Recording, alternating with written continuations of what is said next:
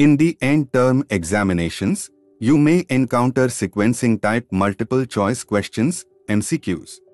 These questions are designed to evaluate your ability to arrange items or events in the correct order based on the information provided. Let's explore this format. Sequencing type MCQs typically present you with a list of items or events that need to be sequenced correctly. Here is how they are structured. Your task is to carefully read the stem and then select the correct order or sequence from the options provided. Let's consider an example related to the Indian freedom struggle. Take a moment to think about the correct sequence and select the most appropriate option. The correct answer in this case is option B.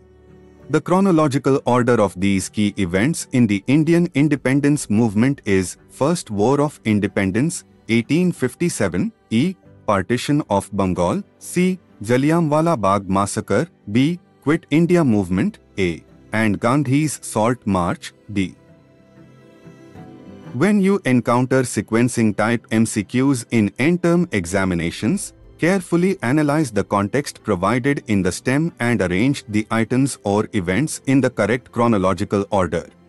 These questions test your knowledge of historical sequences and your ability to organize information logically. Best of luck with your studies and exams.